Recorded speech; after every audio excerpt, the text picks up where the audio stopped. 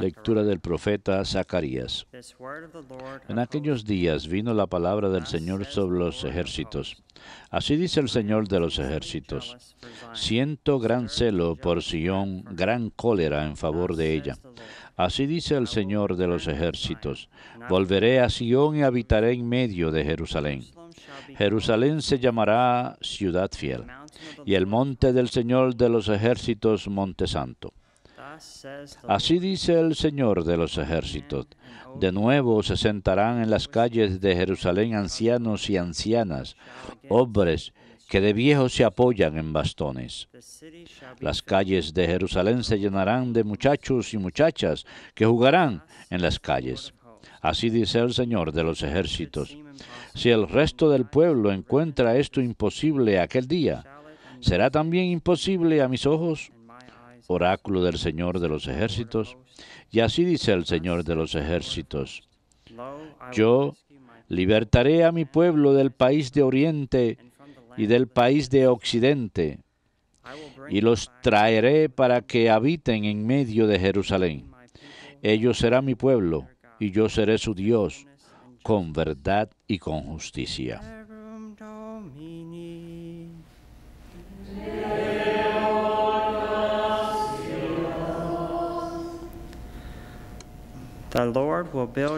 El Señor reconstruyó Sión y apareció en su gloria.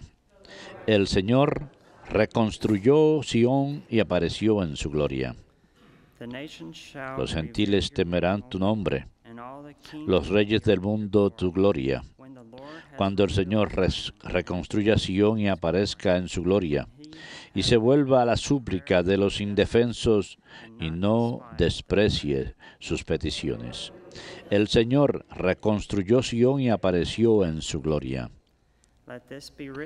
Quede esto escrito para la generación futura y el pueblo que será creado alabará al Señor. Que el Señor ha mirado desde su excelso santuario, desde el cielo se ha fijado en la tierra, para escuchar los gemidos de los cautivos y librar a los condenados a muerte. El Señor reconstruyó Sión y apareció en su gloria. The children of your servants shall abide, and their posterity shall continue in your presence, that the name of the Lord may be declared in Zion, and his praise in Jerusalem, when the peoples gather together and the kingdoms to serve the Lord. El Señor reconstruyó Sión y apareció en su gloria.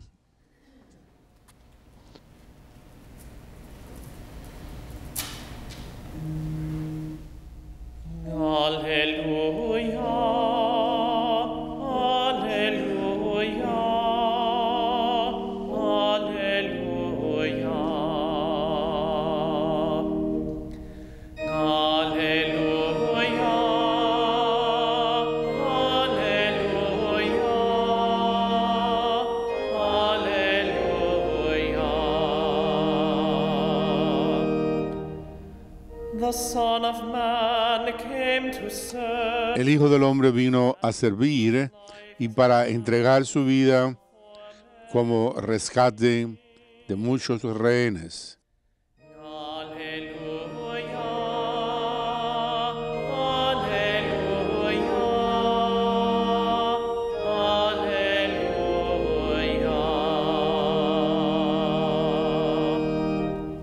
Dominus vobiscum.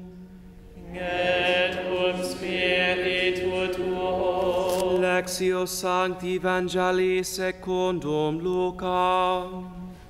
Gloria tibi, Domine.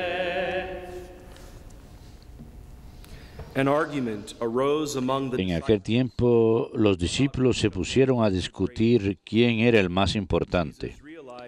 Jesús, adivinando lo que pensaban, cogió de la mano a un niño, lo puso a su lado y le dijo, el que acoge a este niño en mi nombre, me acoge a mí. Y el que me acoge a mí, acoge al que me ha enviado. El más pequeño de ustedes es el más importante. Juan tomó la palabra y dijo, Maestro, Hemos visto a uno que echaba demonios en tu nombre, y como no es de los nuestros, se lo hemos querido impedir. Jesús le respondió, no se lo impidan. El que no está contra nosotros está a favor nuestro.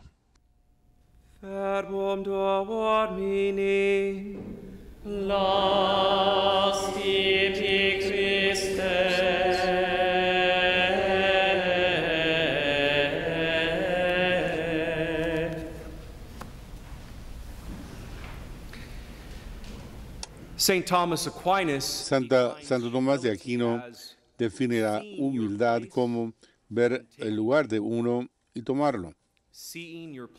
Ver el lugar de uno y tomarlo el lugar apropiado, es decir, también se puede decir reconocer el lugar de uno y tomarlo.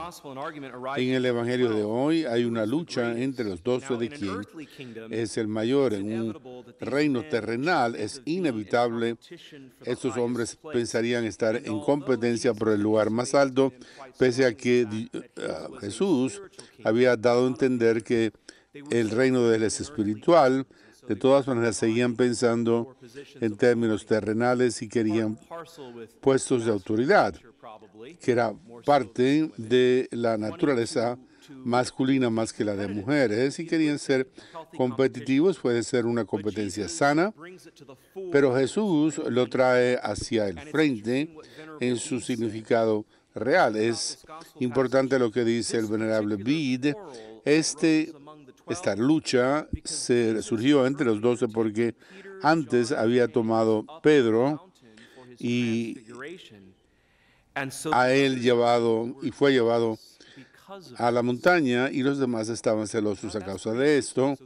Eso fue lo que hizo eh, Cristo. Esto no era una competencia honrada, sino uno que conducía al orgullo estaría ahí el orgullo del lugar, de prominencia. Esto es lo que nosotros querían, no era una buena competencia.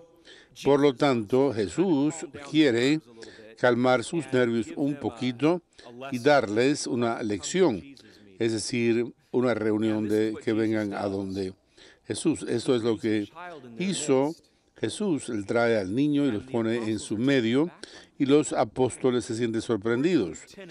Pero no, dicen ellos, nosotros somos los tenientes eh, tuyos, los tenientes de Cristo, y tú tienes la audacia de decir que nosotros somos como uno de estos. ¿Qué quieres decirnos? Somos tus tenientes. Tanto así que después de que les da el niño con una pequeña lección, que es lo próximo que sucede, pues que Juan, el más joven de todos, aparentemente el más humilde, después de dar la lección que hace Juan, hay gente, dice él, que están hablando en su nombre, ¿qué hacemos con ellos? Juan todavía está preocupado, incluso después de la lección del niño. Juan, así todo, se siente preocupado por el prestigio de los doce y que hay otros que no son de los doce que están actuando en nombre de Jesús haciendo cosas a nombre de él. Incluso Juan, el más joven, el más humilde de ellos, incluso él no entiende esta lección del niño que fue traído a su grupo. ¿Qué está tratando de decirles Jesús? Bueno, trata de decirles esto. Al dar la bienvenida a este niño, ustedes aceptan a un niño y su manera de ser. No quiere decir que actúes como niños, sobre todo hombres crecidos. Puede decirse hoy día que muchos hombres crecidos actúan como niños hoy en día. Fíjense en los hogares sin padre, en el aumento del divorcio, de los divorcios específicamente que son iniciados por el esposo. Es algo muy alto. Al dar la bienvenida a este niño, aceptan ustedes las formas en que él se comporta, como es él, es inocente, confía y acepta la palabra de Dios, incluso cuando las cosas están difíciles. Quizás usted y su esposa tienen problemas, quizá haya economías difíciles, pero ¿qué van a hacer? ¿Van a sencillamente eliminarlo todo, dejarse conducir hacia la desesperación o es que van a aceptar la forma del niño, no ser infantiles, sino aceptar las formas de inocencia, de confianza y de aceptación de la forma de Dios. Cuando alguien se acerca a mí y explican una cuestión traumática que sucede en su vida, pudiera ser la pérdida de un ser querido, una situación económica extrema, un matrimonio difícil. Una de las cosas que yo les cito es el Antiguo Testamento. Estate quieto y es necesario que sepas que yo soy Dios. Estate quieto y sabrás que yo soy Dios. Le dijo. Y yo les he dicho, han estado ustedes 15 minutos nada más enfrente del Santo Sacramento. El Señor no tiene que ni siquiera que estar expuesto, sino puede hacer una visita a una iglesia, 15 minutos tan solo, y no decir nuestro Padre y Ave Marías, tan solo hablar con Él y no rezar como con un amigo, verbalmente. Una conversación como Santa Teresa de Ávila recomendaría. La oración, dice ella, es una conversación con Cristo. Denle a Él un niño con inocencia y con aceptación verbalmente, conversacionalmente. Díganle lo que está sucediendo. Él ya lo sabe, pero Él quiere que tú le hables a Él. Y el 99% de las veces, y no es una exageración, el 99% de las veces la persona, hombre o joven, perdón, hombre o mujer, joven o viejo, responde, no, no lo he hecho. ¿Y dónde está tu inocencia entonces? ¿Dónde está tu confianza, tu aceptación? En lugar, en su lugar estás conduciéndote hacia la desesperación, que no es algo que debes buscar. La misa nos dice que no debemos volvernos así, protégenos de todo tipo de ansiedad, decimos, como nosotros esperamos con esperanza por la llegada de nuestro Salvador Jesucristo. Por lo tanto, a causa de que no acudimos a Dios la mayoría de las veces, estamos conduciéndonos a trabarnos en esta ansiedad. Jesús está diciendo que la inocencia, la confianza y la aceptación se sobrepongan, según el Evangelio de hoy, el orgullo del prestigio, del lugar y de la prominencia para con la, todo lo que es vanagloria y por posiciones de autoridad. Es decir, Jesús está diciéndoles, concentrémonos en lo espiritual y no tanto en lo temporal, porque por lo general lo temporal es lo que nos molesta. Por lo general es la realidad temporal, la finanza, el yo salir con alguien, un matrimonio difícil, un jefe que no soporto. La realidad temporal es lo que sucede, así que después de eso concentrémonos en lo espiritual.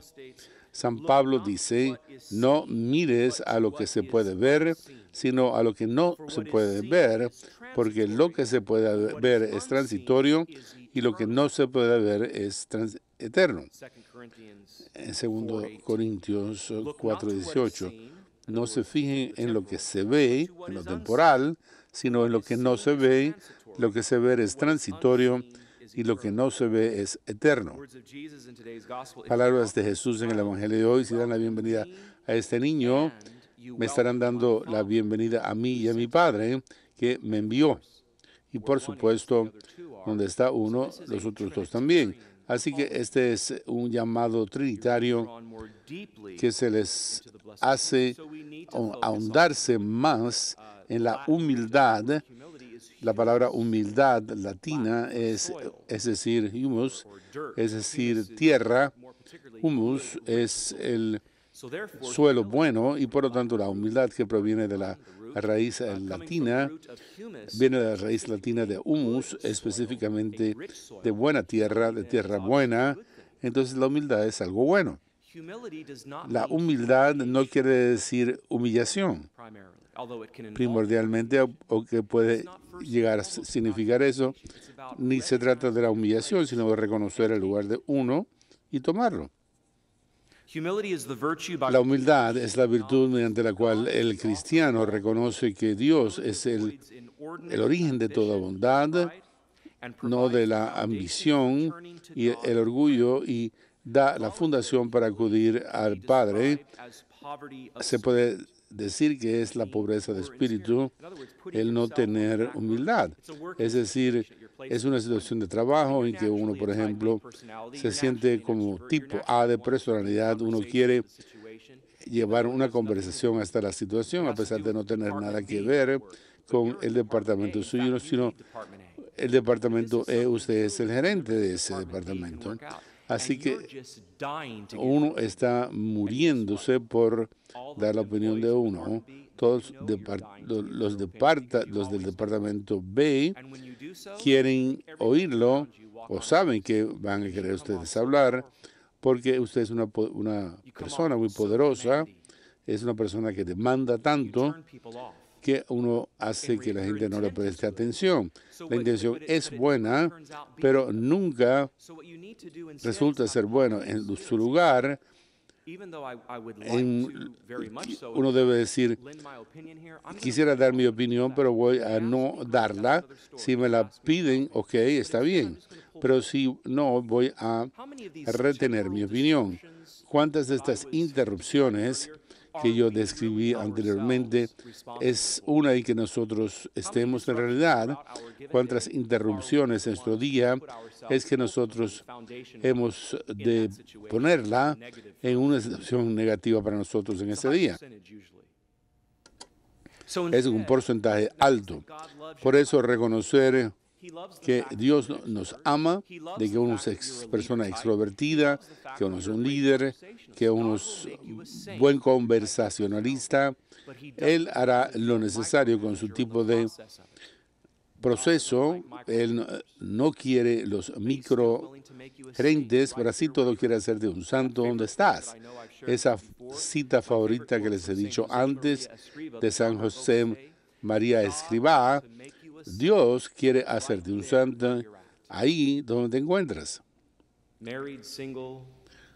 Casado, soltero, viejo, joven, no importa. Dios quiere hacerte un santo donde estés. La humildad es la virtud para la relación correcta con Dios y con otros. La persona humana fue hecha en un estado de justicia y cayó. Ahora Él ha sido redimido en Cristo. La actitud de la humildad es la siguiente, yo soy bueno únicamente a causa de la misericordia de Dios. La humildad va en contra del orgullo y trata de servir a Dios y a otros como lo hizo María. Es más, María es un modelo muy prominente de esto. Esta virtud de la humildad trae reconocimiento que todo bien viene de Dios. Es el resultado de su gracia, no puede ser atribuida a ningún tipo de agencia humana. La humildad es la base del amor de otros auténticamente y nos lleva a una mayor conformidad con Cristo cuando nos armoniza a nosotros con la humildad de Él. Reconoce que la humildad de Cristo le permitió a Él traer a la humanidad la salvación al permitirle a Él entrar en nuestra condición humana y mortal. La humildad también es la virtud natural que se opone a la arrogancia y a la vanidad, que son los, las raíces de todo mal. La humildad, ahí nace toda acción, porque nos lleva a ser obedientes a Dios y a otros, a quien quizás seamos subordinados, Piense en el centro de trabajo suyo. La humildad reconoce el valor del prójimo y no hace que sea menor las virtudes de él. La humildad promueve el bienestar de la conciencia y conduce a la prudencia, a la astucia y al pensar bien sobre otros. La humildad no trata de la humillación, no se trata de estar así todo el día de una forma como que tratando de que no sea notado. No. La humildad es reconocer las enseñanzas de la iglesia y aplicarlas apropiadamente al temperamento, a la personalidad de uno y llevarlas hacia donde es correcto y donde la humildad está en su lugar correcto. Recuerden que Santo Tomás dijo, la santidad no está opuesta. Yo lo he dicho antes, la santidad no es así. Dios quiere hacerlo a uno a un santo, ahí mismo donde uno se encuentre. La humildad no es pensar menos de uno mismo, sino es pensar sobre uno mismo menos. Es una distinción filosófica importante. No es pensar menos, más bien es pensar acerca de uno mismo menos. No voy a ofrecer, por ejemplo, mi opinión si el departamento B quiere preguntármelo, pero si no, yo voy a esperar si es que vienen a que vengan. Esa es una máxima cristiana acerca de la humildad como virtud. La humildad no es pensar menos de uno mismo, sino pensar de uno mismo menos. San Buenaventura y su humildad no prestaba atención acerca de haber sido designado cardenal él antes de terminar de fregar por su atención a los deberes diarios.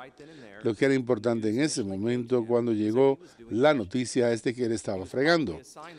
posiblemente había sido asignado ese día a fregar los platos ese día en el monasterio. Mi fe demanda entonces que yo haga lo que estoy haciendo y luego que les preste atención a estos señores que han venido a hablarme. Entonces, esa es la humildad a reconocer el lugar de uno y también se ha dicho que la humildad atrae a los seres que su vicio opuesto es el repeler a, las, a los seres